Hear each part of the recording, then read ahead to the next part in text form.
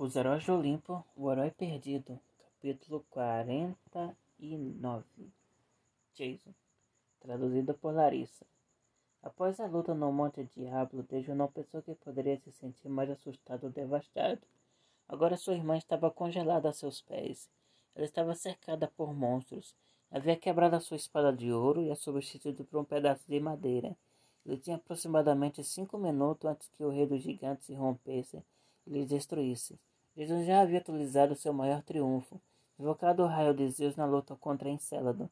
Ele duvidava que teria a força ou a cooperação dos céus para fazer aquilo de novo, o que significava que seus únicos recursos eram uma deusa reclamona prisioneira, uma espécie de namorada com a adaga, e Léo, que aparentemente achava que poderia derrotar os exércitos das trevas com balas de menta. Acima de tudo isso, as piores memórias de Jason estavam retornando. Eu tinha certeza de que já havia feito muitas coisas perigosas em sua vida, mas ele nunca tinha estado tão perto da morte quanto estava agora.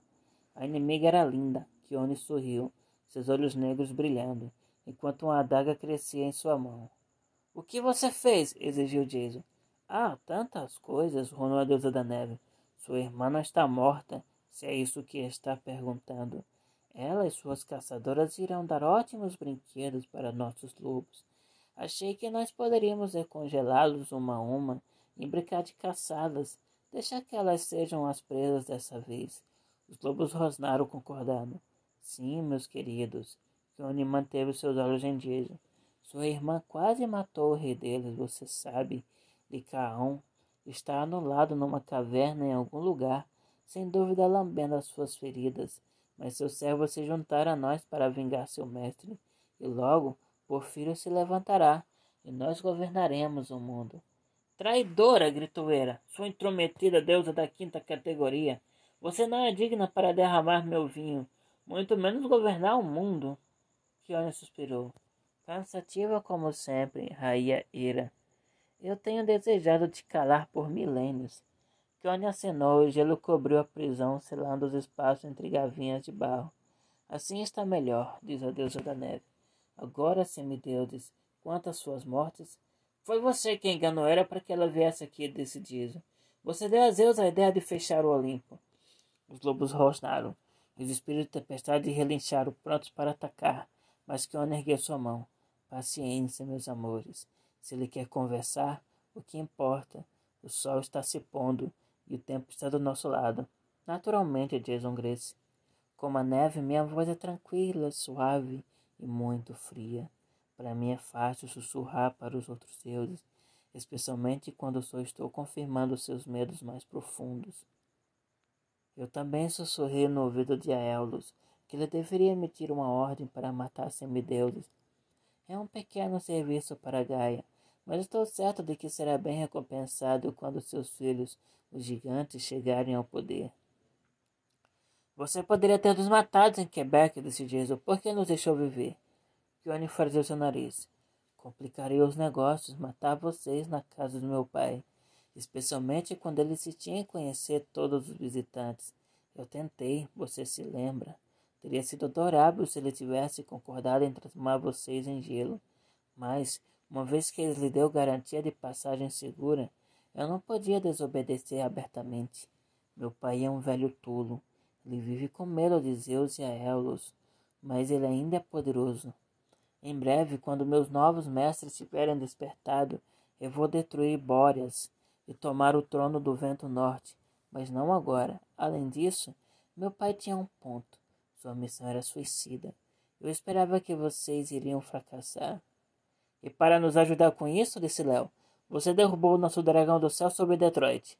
Os fios congelados na cabeça dele. Aquilo foi sua culpa. Você vai pagar por isso. Você também foi quem manteve Encélado informado sobre nós. Acreditou Piper. Temos sido assolados por tempestade de neve a viagem inteira. Sim, eu me sinto tão próximo de todos vocês agora, disse Kione. Uma vez que vocês conseguiram passar por Omaha, eu decidi pedir a Licaão para restaurar vocês. Assim dia só poderia morrer aqui na casa dos lobos. Kione sorriu para ele. Você vê, Jason, seu sangue derramado nessa terra sagrada vai manchá-la por gerações. Seus irmãos semideuses ficarão indignados, especialmente quando encontrarem o corpo desses dois do acampamento meio-sangue. Eles acreditarão, que os gregos têm conspirado com gigantes. Será delicioso. Pai Pelé não pareceu entender o que ela estava dizendo, mas Jason sabia. Suas memórias tinham retornado o suficiente para ele perceber quão perigosamente eficaz o plano de Keone poderia ser. Você vai colocar semideuses contra semideuses, disse ele. É tão fácil, disse Keone. Como eu te falei, eu só estou encorajando o que você faria de qualquer jeito. Mas por quê? Piper estendeu as mãos. Keone, você destruiu o mundo. Os gigantes irão destruir tudo. Você não quer isso. Pare os seus monstros. Keone hesitou, então riu. Seus poderes de persuasão estão melhorando, garota. Mas eu sou uma deusa. Você não pode me encantar. Nós, deuses do vento, somos criaturas do caos. Eu vou derrubar Elo e deixar a tempestade escorrer livremente. Se destruirmos o mundo mortal, melhor ainda. Eles nunca me honraram, mesmo nos tempos gregos, humanos e sua discussão sobre aquecimento global. Pá, eu irei refrescá-los com rapidez o bastante. Quando retomarmos os lugares antigos, eu irei cobrir a, a acrópole de neve. Os lugares antigos, os olhos de Léo se regalaram. Foi isso que Encédulo quis dizer quando falou de destruir as raízes dos deuses. Ele se referia à Grécia. Você poderia se juntar a mim, filho de Hefesto, disse Kione. Eu sei que você me acha bonita. Seria suficiente para o meu plano se esses outros dois morressem. Rejeite esse destino ridículo que as parcas deram a você. Ao invés disso, viva e seja o meu herói. Suas habilidades seriam muito úteis. Léo parecia estupefato. Ele olhou para trás como se Kiona estivesse falando com outra pessoa. Por um segundo, Jason ficou preocupado. Ele imaginou que não era todo dia que Léo tinha lindas deusas fazendo-lhes ofertas como essa. Em seguida, Léo riu tanto que se curvou. Eu me uni a você? Certo. Até que você se canse de mim e me transforma em um picolé? Em um picoléu? Moça, ninguém mexe ao meu dragão e fica impune. Eu não posso acreditar que achava você quente. O rosto de Kione ficou vermelho. Quente? Você se atreve a me insultar? Eu sou fria, Léo Valdez. Muito, muito fria.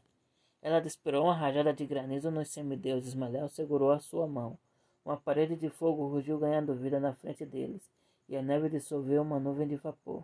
Léo sorriu. Viu, moça? Isso é que acontece com a neve no Texas. Ela absolutamente derrete. Kiona sibilou. Já chega. Ira está fracassando. Porfiro está acendendo. Desde que ele seja a primeira refeição do nosso rei. Desde levantou seu pedaço de madeira congelado uma estúpida arma para morrer lutando com ela, e os monstros investiram.